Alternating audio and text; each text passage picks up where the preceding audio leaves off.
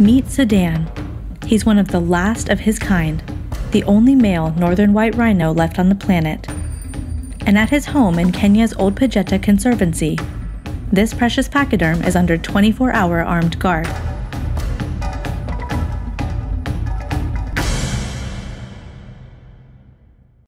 Kenya's the last stop on the Elephant Ignite expedition. It's been an amazing journey through the breathtakingly beautiful country.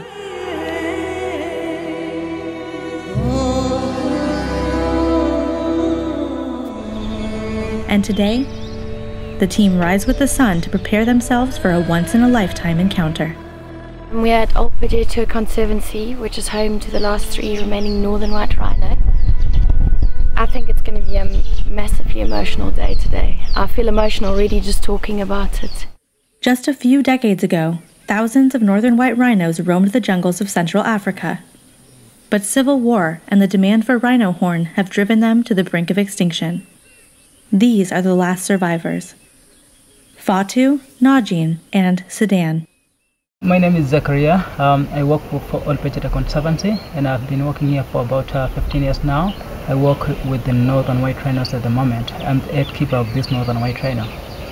Zachary is tasked with caring for this gentle geriatric, and for him, it's the best job in the world. Good boy. This is my lovely rhino.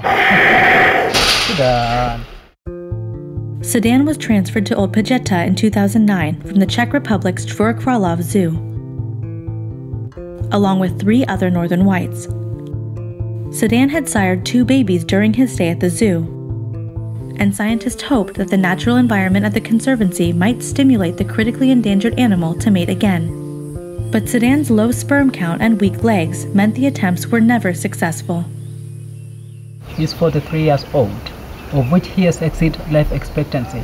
Normally, rhino live up to 40 years in the wild, but Sudan is 43, of which that's good age uh, for, for, for him. If he was a human, he could have been aging 90 to 100 years. Sudan now spends his time at Ol Pejeta educating visitors.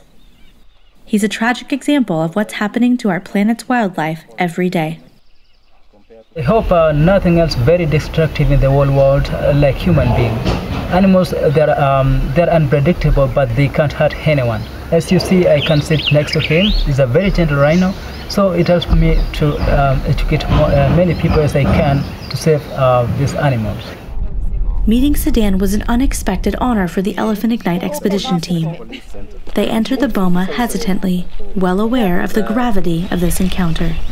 It was a very somber group of people who walked into this boma you, you can't describe how, how big he is. And I think trying to compare him to, to the, the southern white rhino that we know so well, the horn on his face is absolutely massive.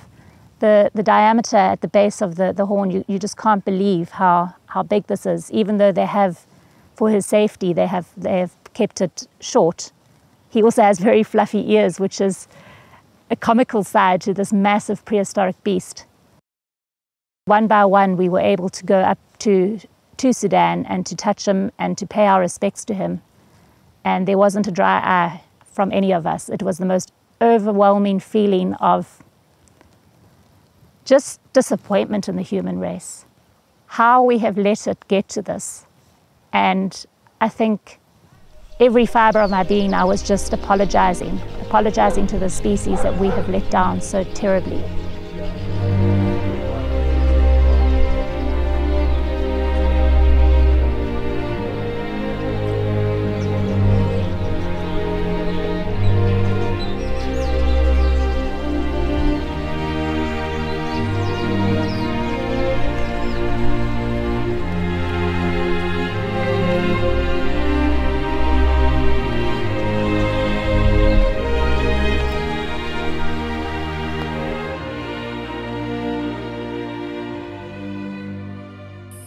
Kenya's Ol Pejeta Conservancy isn't just home to the last northern whites. It's providing sanctuary to numerous threatened species and working hard to educate communities on the value of our planet's wild species.